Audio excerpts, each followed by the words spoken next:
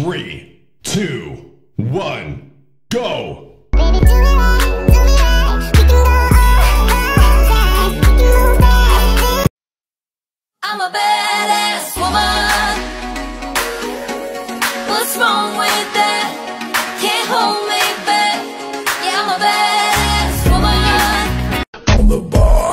This goes to the strippers and the fucking porn stars and them sexy motherfuckers showing shit on the bar.